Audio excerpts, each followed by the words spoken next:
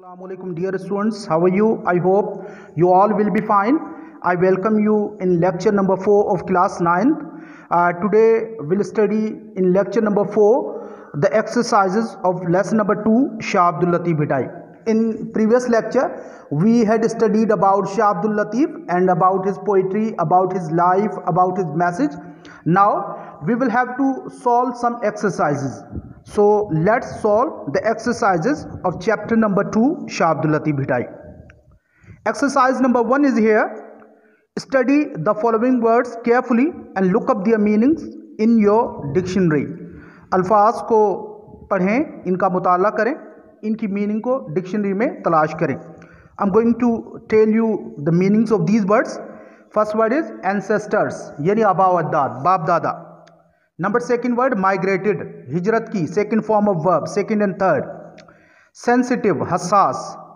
Normal यानी ठीक आम हसब मामूल अट्रैक्टेड सेकंड फॉर्म है अट्रैक्ट यानी कशिश करना या खींचना सेकंड एंड थर्ड फॉर्म है buried this is also second and third form bury यानी दफन करना या दफनाना डिग्निटी अजमत श्राइन मज़ार डोम यानी गुम्बद जो किसी मज़ार के ऊपर या किसी मस्जिद वगैरह के ऊपर जो गुम्बद बने होते हैं second is make sentences of your own using the following words अल्फाज हैं इनके आपने जुमले बनाने हैं I am giving you assignment you have to make sentences yourself number first is message पैगाम नंबर सेकेंड इज एग्जाम्पल मिसाल थर्ड रिलीजन मजहब फेमस मशहूर invented this is second and third form invent miss ईजाद करना कोई नई चीज़ बनाना so you have to make the sentences on yourself exercise number two comprehension there are some question and their answers are written but we have to tick out their answers okay there are M C Qs question number one where is Bhitshah tick the right answer option A it is at a distance of fifty five kilometers from Hyderabad B It is a village near Karachi. C. It is a town. So A is right answer. Question number 2. What changes did Shah Latif make in the music of those days? Option A. He made it more complicated. B. He simplified it. And C. He did not invent, invent any new tunes. So answer is B. He simplified it. Question number 3. Why did Shah Latif love the lake which is near the mount? A. He prayed near it. B. He loved the peace and quiet of the scene. C. He liked to sit near it because it was cool. So correct answer is B. He loved the peace and quiet of the scene. This is the same exercise I've solved for you. You can see on your screen. Then study of structures. There are some structures. There are some usages. Number first usages of in Urdu we can say ka, ki, ke. It is a preposition. Examples are there. Islam is a religion of peace. 2. Latif came to be known as the saint of bit. 3. Please give me a cup of water. 4. The box of matches is in the kitchen. Number 2. With. This is also preposition. Ke saath. Examples are there. His heart was soon filled with the love of God. Two he was blessed with a son three she is with me four she goes to school with her brother with is a preposition is I told you it shows the relationship of a noun और pronoun to some other word in the sentence यानी ये relationship show करता है noun और pronoun का किसी और word में some more usages of with कुछ मजीद एग्जाम्पल्स हैं number one he is writing with a pen He fought with a sword. 3. He is erasing it with an eraser. 4. He is eating with a spoon.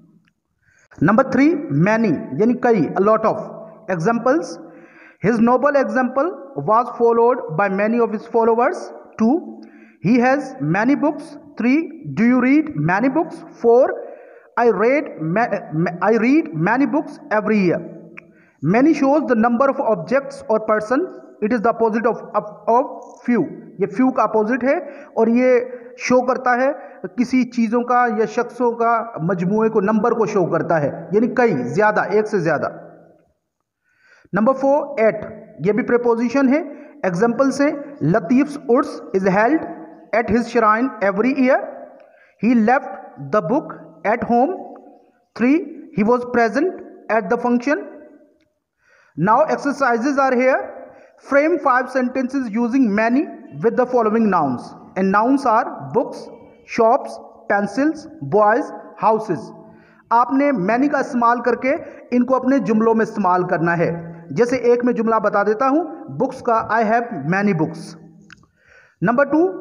complete the following sentences choosing suitable words from the given list and the words are of lived with many ate every by a what is the name dash this town यहां पर of लगेगा O F of he dash with his brother यहां पर lived का इस्तेमाल होगा L I V E D C she came dash her father we will use with W I T H D dash boy must finish this sum. We will use here every, EVERY. E, he has dash books on his table, many. F, I saw him standing dash the shop, 80. G, the name dash this town is 7 of OF. H, he writes dash a black pen with WITH. I, I was dash her all the time with WITH. J. You have been late dash times many MANY. K.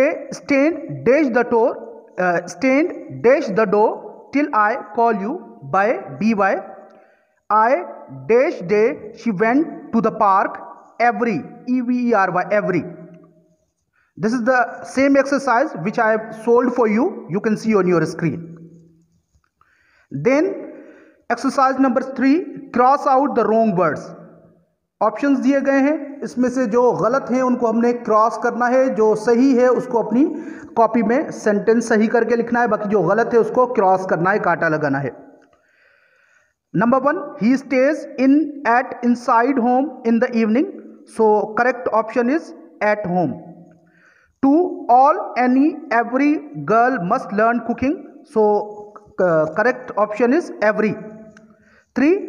There are many more all books on my table. So correct option is many. The boy walked, walks or ran to the school as he was late. So correct option is ran. He went to the park along with by his father. So correct option is with. Number 6 what is the color on of, in your code so correct uh, correct option is of of same exercise i've solved for you you can see on your screen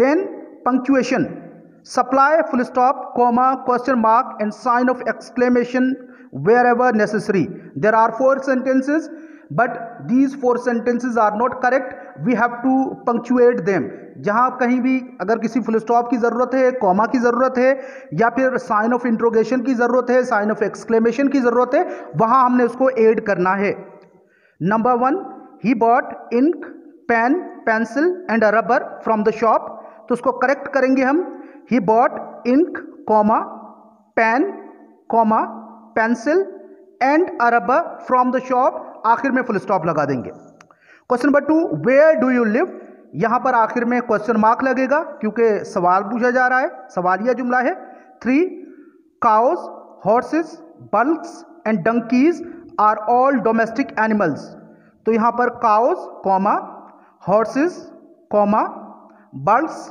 and donkeys are all domestic animals आखिर में full stop लगा देंगे four what a beautiful bird इसके आखिर में sign of exclamation लगेगा I solve these exercises for you you can see on your screen आप अपनी स्क्रीन पर देख रहे होंगे मैंने एक्सरसाइजेज आपके लिए सॉल्व भी की हुई हैं last exercise punctuate the following passage वहां पर कुछ जुमले दिए गए थे यहां पर ये पैसेज है इसको पंक्चुएट करना है फुल स्टॉप है तो फुल स्टॉप लगाना है अगर कॉमा है तो कॉमा लगाना है साइन ऑफ इंट्रोगेशन है तो साइन ऑफ इंट्रोगेशन लगाना है they all went in and closed all the doors and windows. Soon the strong wind brought the dust along, but very little got into the house.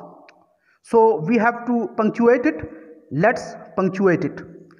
They all went in and close all the doors and windows उसके बाद full stop लगाना है screen पर आप देख रहे होंगे soon the strong wind brought the dust along then we have to use comma but very little got into the house then we have to use full stop so these were the exercises now i'm giving you assignment uh, you have to understand all the exercises and you have to memorize some words meaning some question answers and some structures you have to memorize and understand number two read and understand the lesson once again you have to read and you have to understand the uh, lesson completely okay beta thank you very much